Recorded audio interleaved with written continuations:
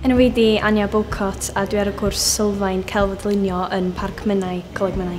Nes i penderfynu dod i coleg cos o'n i jyst eisiau bod yn greadigol am flwyddyn ac o'n i'n gorau poeni am exams yn byd a just wneud loads o pethau a gwaith gwahanol a ffeindio allan beth dwi actually eisiau wneud uh, yn prifysgol.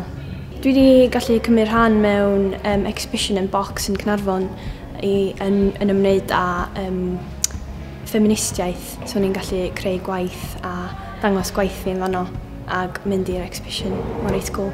Dwi'n rili really mwynhau'r cwrs um, ers y cychwyn, really. Mae'r strwythyr y cwrs yn briliant, cys ti'n cychwyn um, wrth arbrofi am 8 wsos, um, just, just hollol, just um, neud be bynnag ti isio, ac oedden ni'n neud um, wsos o fatha life drawing, oedden wsos o um, neud cerfluniau a just bob dim, a wedyn oedden ni'n gallu ffeindio allan wedyn be oedden ni'n licio A wedyn oedden ni'n gael um, penderfynu pa adran oedden ni eisiau mynd fewn i, so nes i gael yn rhoi fewn i um, apply design.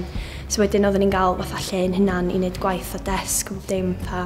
A wedyn oedden ni'n gael briefs bob wsos, a wedyn just arbrofi fo bob math o bethau, oedden ni'n gael y workshop a um, oedden ni'n gael mynd fewn i fanna, wneud gwaith pren, metal, bob dim, o'n gret.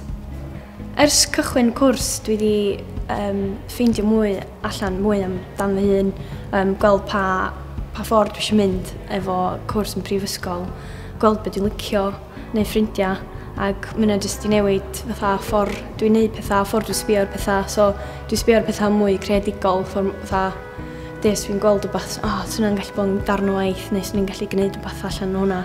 Um, ac jyst meddwl fwy mewn ffordd artistig um, ers cychwyn y cwrs. Swn i'n annog rhywun dod i wneud y cwrs. Mae'n jyst rhoi blwyddyn i chi rili really meddwl am beth ydych chi eisiau wneud. Mae'n rili really da jyst i ffeindio allan beth ydych chi eisiau wneud. Ar ôl gorffen y cwrs, dwi'n gobeithio, wel, dwi yn mynd i Glasgow i wneud um, Contemporary Performance Practice yn Royal Conservatoire of Scotland.